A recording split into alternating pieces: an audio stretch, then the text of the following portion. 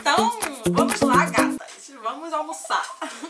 Me cortou um pouquinho, mas eu tô aqui e apareceu no vídeo. A culinária da semana é cozido. Pois é, meninas, cozido baiano.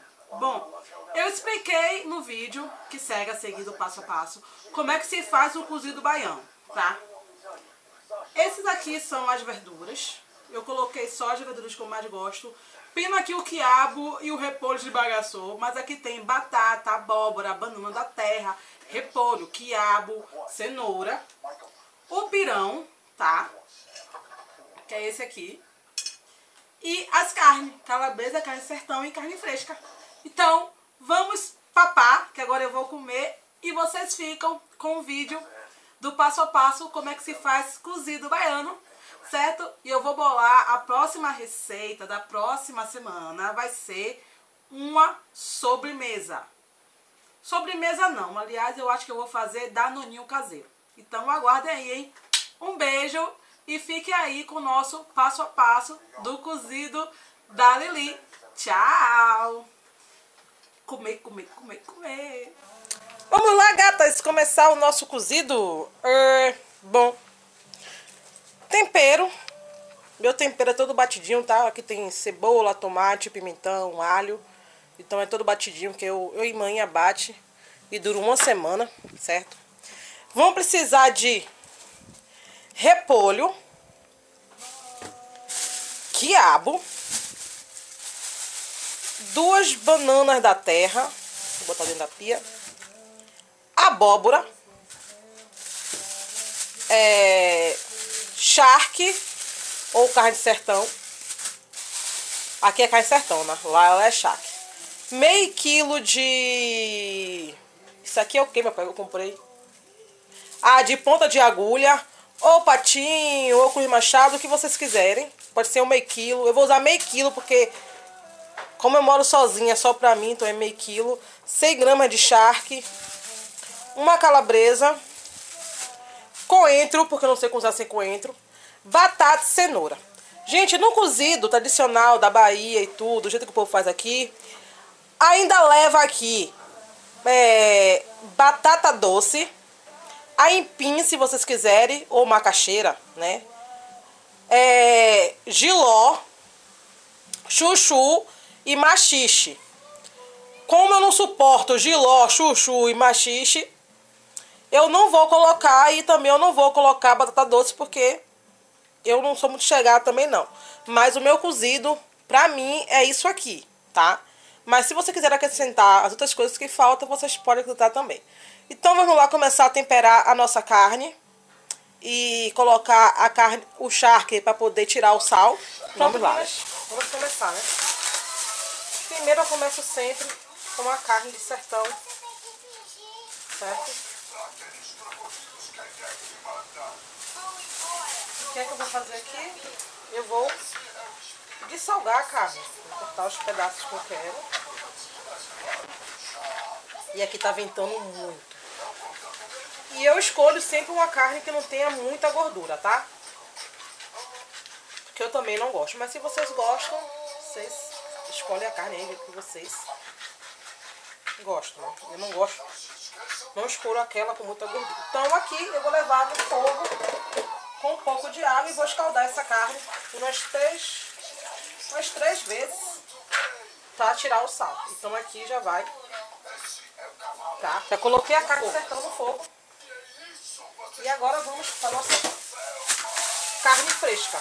Vocês podem fazer com a carne que vocês quiserem. Aqui eu peguei uma quantidade para duas pessoas, tá? No caso, eu e minha mãe. Mas vocês podem fazer a quantidade para quantas pessoas tiverem na sua casa. Aqui tem meio quilo de carne. Se eu não me engano, eu acho que aqui é ponta de agulha. E eu comprei meio quilo. Eu sou meio chata com esse negócio de, de carne. Mesmo comprando carne de primeira, eu tiro toda a gordura da carne. Eu não gosto. Não gosto mesmo. Aqui eu vou cortar em pedaços grandes. Não tem segredo. dividir a carne em alguns pedaços. E minha faca tá cega cega. Vou tirar essa gordura aqui.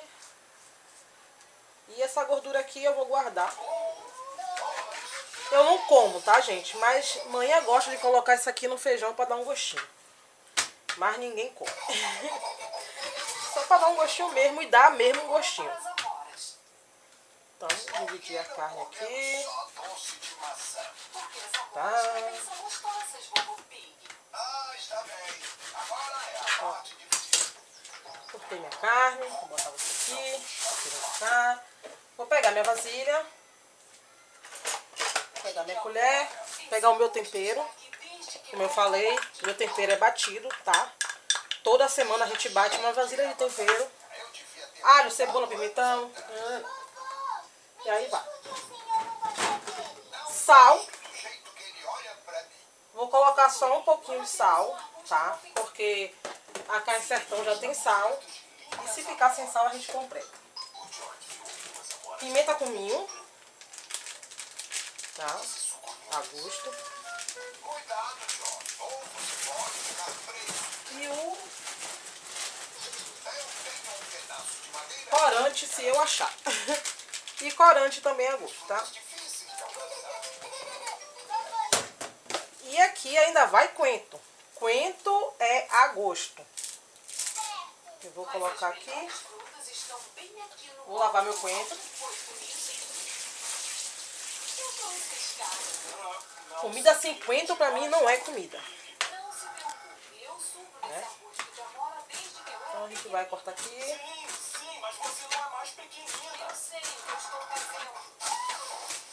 Um coentinho pra colocar na carne.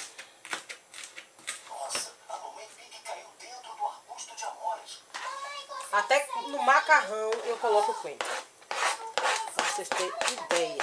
Até no macarrão eu coloco coentro. Então vou misturar tudo isso aqui. Tá? E vou passar uma água de leve na minha carne. Vou jogar aqui dentro.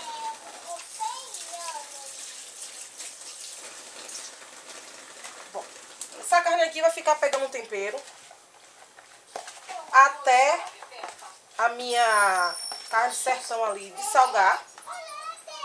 Certo? Eu vou deixar a carne aqui pegando no tempero. E enquanto eu descasco a verdura, ela tá no tempero também, né? Vou cortar logo a calabresa, deixa logo tudo cortadinho, bonitinho. Vou lavar a calabresa. E vou tirar a pele.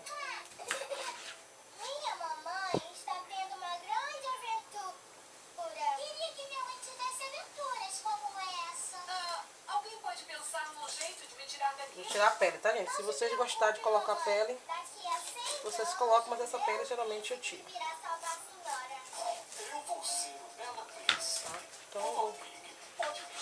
Cortar minha calabresa assim. Eu jogo tudo em da pia. Aí depois eu vou catando.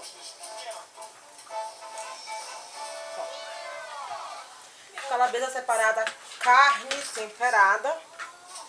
Vou botar a calabresa aqui no pratinho. E vamos lá agora. Mangatinhas, já coloquei. Já liguei o fogo, já coloquei a panela de cocção. Descasquei a verdura. E agora vamos colocar para cozinhar. Né? Já escaldei a carne sertão. O charque. Vou colocar um pouquinho de óleo.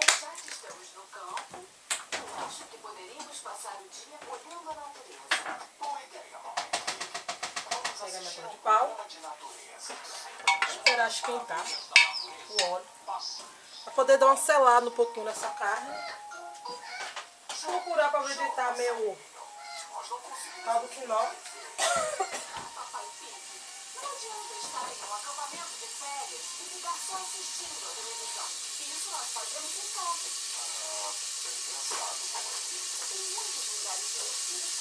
Então já começou a chiar aqui, né? Uma selada na, na carne.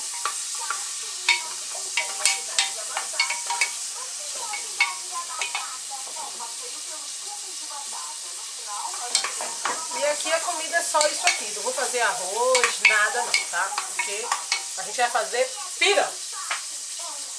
Então botei a carne, a carne de sertão. Vou botar a calabresa agora. Também dá uma fritada.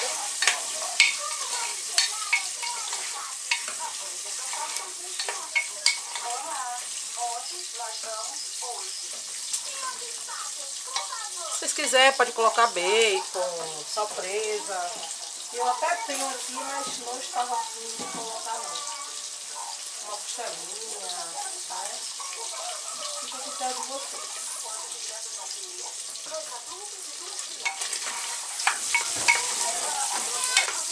Já fritamos nossa carne de sertão, nossa calabresa. Gente, o cheiro é maravilhoso. Eu vou tentar chegar mais um pouquinho de perto para vocês verem dentro. Vou trocar o tripé de lugar. Bota assim. E vou descer.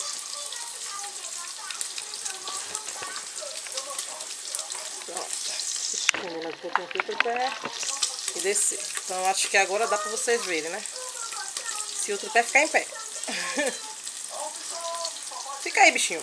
Fica aí, bichinho. Fica aí, bichinho. Fica aí, bichinho. Então dá. Aqui. Hum. O cheiro, gente, da carne de sertão fritando, mas a calabresa é um cheiro tão gostoso, tão gostoso. E agora vamos colocar nossa carne que ficou lá com tempero, né? Como eu falei, zoada que faz. Eu coloquei pouco sal né? Porque a carne sertão já tem sal, calabresa já tem sal.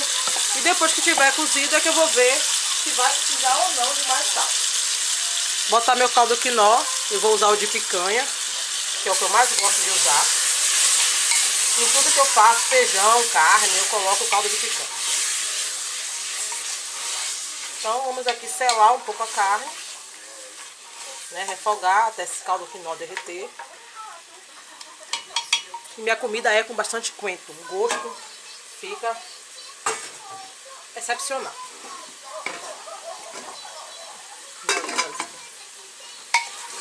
Então vamos mexer aqui, tá? Já tá seladinha aqui minha carne, bonitinha, gostosinha, né? E agora a gente vai deixar essa carne cozinhar. Depois que ela estiver cozida, eu vou tirar ela da panela para não desbagaçar e vou colocar a verdura para cozinhar nesse caldo. Mas antes de eu tampar, eu vou derramar um pouquinho de azeite, um fiozinho de azeite, né? Essa carne, que também dá um gosto legal.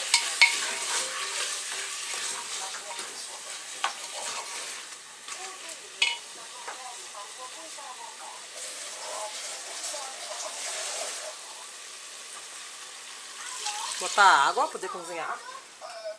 Botar água, quantidade até cobrir a carne, tá?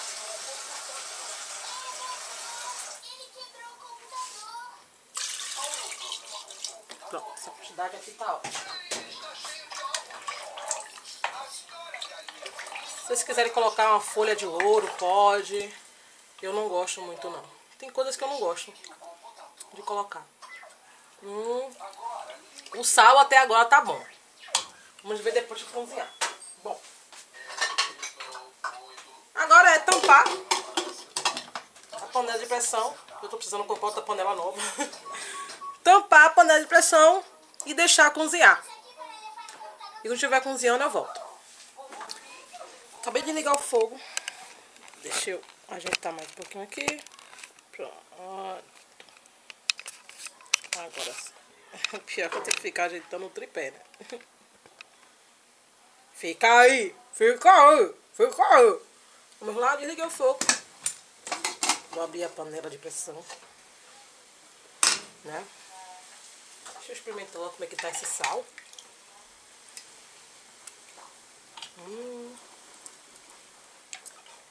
O sal tá bom. Bom, deixa eu ver aqui como é que tá essa carne. Já tá cozida. Pegar uma colher maior, né?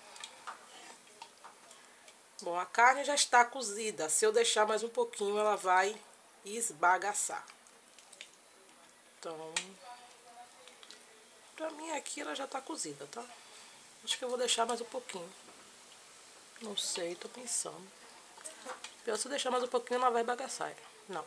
Eu vou botar pra cozinhar mais um pouquinho, mas antes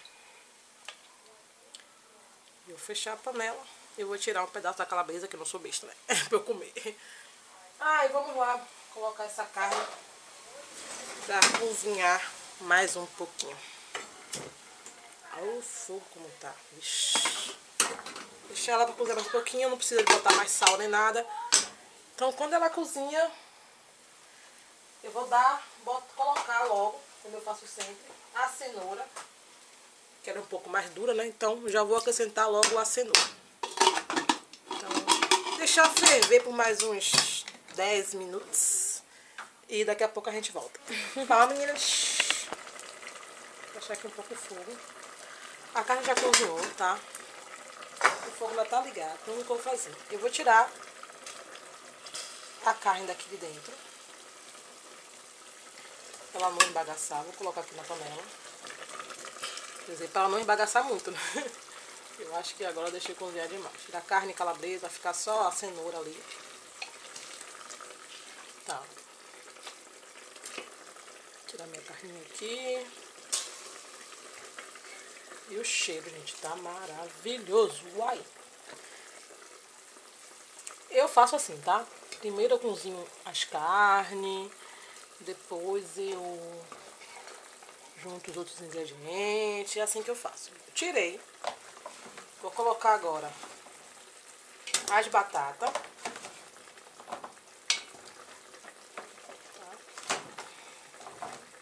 A cenoura já tá ali dentro. E meu cozido eu só coloco as verduras que eu gosto. Tá? Mas vocês podem fazer como o tradicional que eu já falei. Tá? Que leva machixe, giló, é, batata doce. Tem gente que bota empim, bota beterraba e eu não gosto. Apesar que meu médico recomendou eu comer tudo isso, mas eu não gosto. então, eu já botei a batata, a cenoura, o repolho, eu coloco, cortei ele no meio, tá? Eu coloco ele inteiro aqui, que eu sei que ele vai se esbagaçar. E vou colocar o quiabo. Então vai ficar a banana e abóbora por último. Eu gosto muito de abóbora. Eu vou tampar aqui essa panela. E aqui tá um monte de carne. E agora eu vou completar com um pouquinho de água. até que cubra toda a verdura, porque a gente precisa de caldo para fazer o pirão. E, gente, pra mim já tá bom de sal.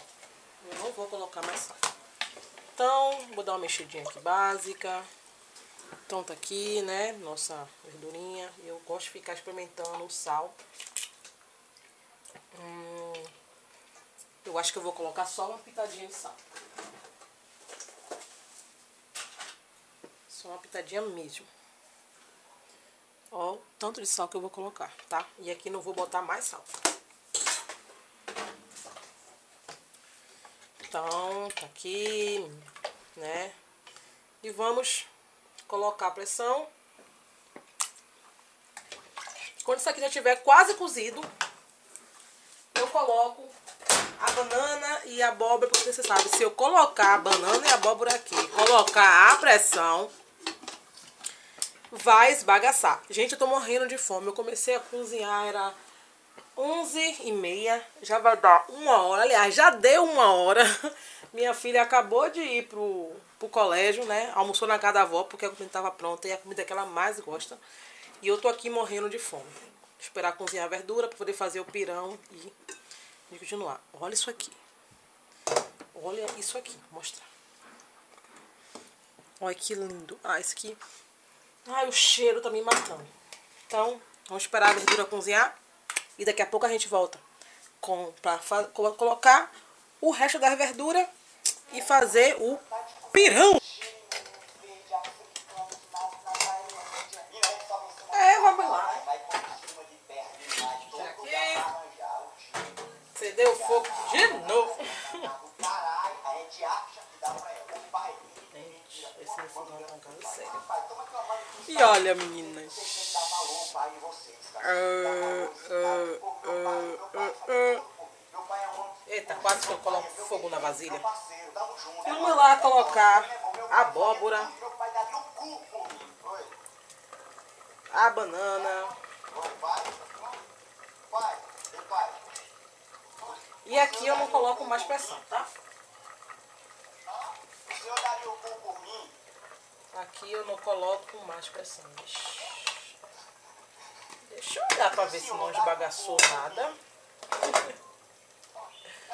Era pra fazer isso antes de colocar aqui, né? Gente, eu vou tirar a batata.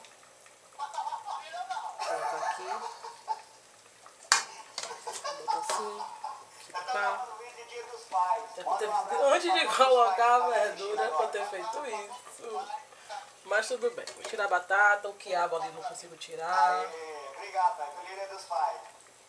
O repolho aqui se tornou um só. Eu, infelizmente, não pude estar com meu pai porque eu tava trabalhando, viajando pra fazer show. Tá. Dia 15 em João Pessoa, 22 e 23 Campina Grande Natal, 28 de agosto, Acidentes acontecem. Quiabo, esqueça quiabo inteiro aqui dentro que você não vai achar. 5 de setembro, Crato, Ceará. 6 de setembro, Petrolina. 7 Juazeiro, Bahia. Dia 18 de setembro, Teresina, Piauí. Muito obrigado por ter assistido esse vídeo Olha o quiabo, como tá.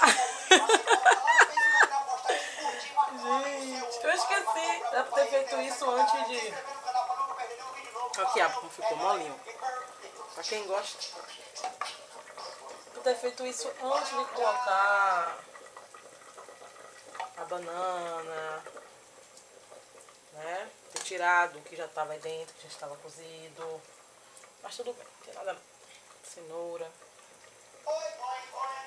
É bom que fica um pirão bem, bem concentrado.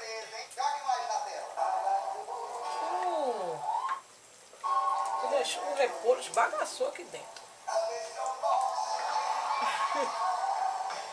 Ah, é dia 8 e amanhã, dia 9, tem que estar no Macu, tem ingresso na segunda sessão que é do Dom Primeiro, hein? E dia 15 tem João Pessoa! Show Rosane meu Deus do céu! Porque João Pessoa é muito bom. Se você de João Pessoa quer comparecer no show tá Repolho é só aqui clicar no primeiro link aqui na descrição do vídeo, é nóis! Sim,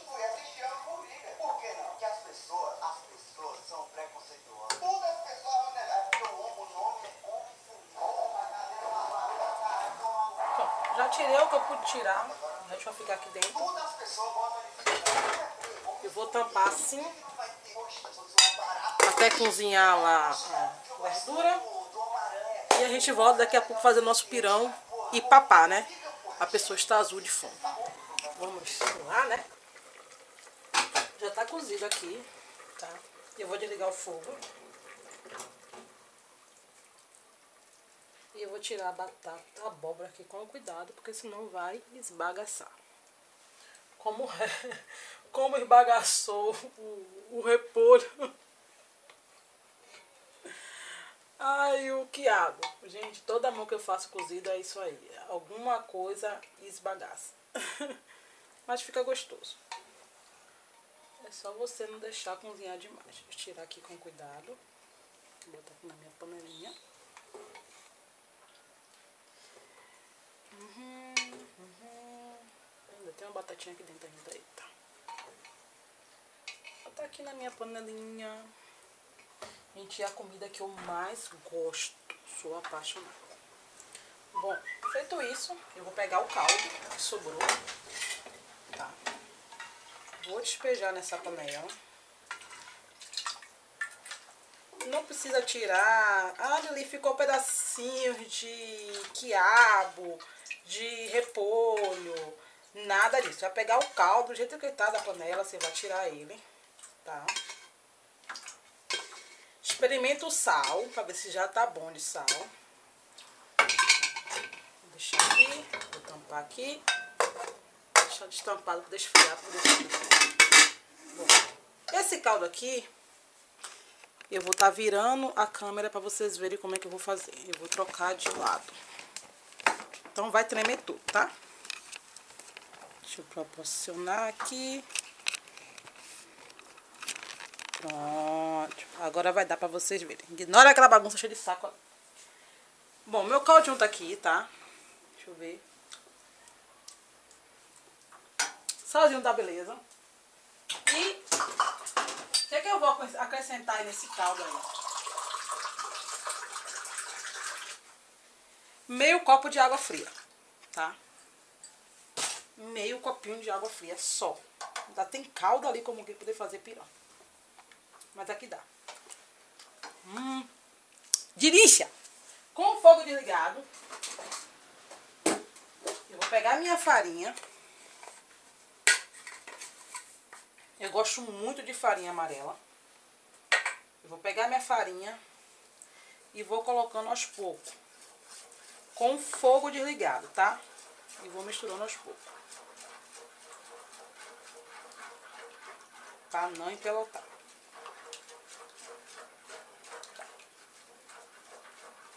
Misturando, misturando, misturando, misturando, misturando, misturando, misturando, misturando, misturando. Vou pegar só mais um pouquinho.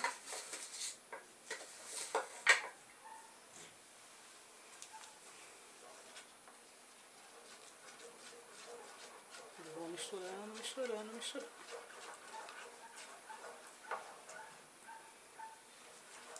Se ficar muito duro o pirão, eu coloco mais um pouco de, de cal, tá? Bom, ficou assim, ó, pra vocês verem. Tá, meninas? Olha ali qual é a quantidade. Não sei, vocês vão botando a quantidade até ficar assim, ó. Ficou assim, desse jeito, né? Vocês ligam o fogo. Aqui eu acho que eu coloquei... Problema aqui, o estresse. Ah, ligou. Aqui eu coloquei uma e meia desse potinho aqui que eu pego a farinha, tá? E agora é mexer. Vamos mexer até dar o ponto.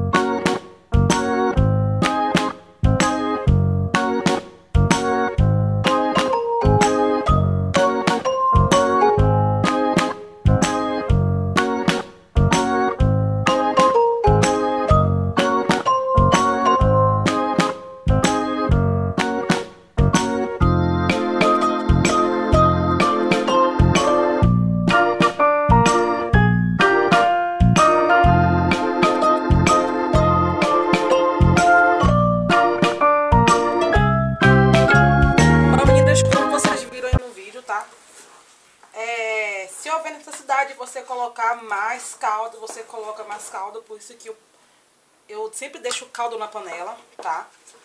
Necessidade de colocar mais caldo, ficou muito duro, você coloca mais caldo. O ponto que eu gosto do pirão é esse aqui, tá? É esse ponto aqui que eu gosto do pirão, mas tem gente que gosta de um pirão mais molinho. Eu não gosto, tá? E quando começar a saltar da panela, tá? Ó, quando começar a saltar da panela, começar a borbulhar, o nosso pirão tá pronto. Deixa cozinhar bastante a farinha para não ficar com gosto de farinha. Farinha que eu uso é aquela farinha normal de tapioca que a gente usa no nosso dia a dia para comer com a comida, tá? Então deixa aqui, vai mexendo. Como eu falei, eu gosto desse pirão assim, mais durinho, só que tem gente que gosta de um pirão mais molinho. Então, aqui meu pirão tá pronto.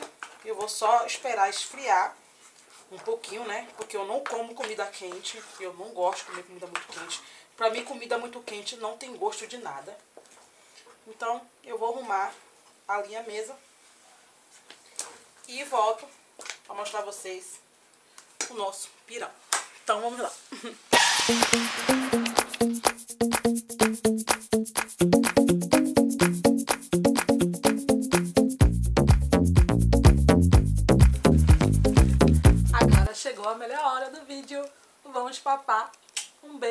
Espero que tenham gostado de mais um Livro pra Cozinha. Agora eu vou arrumar.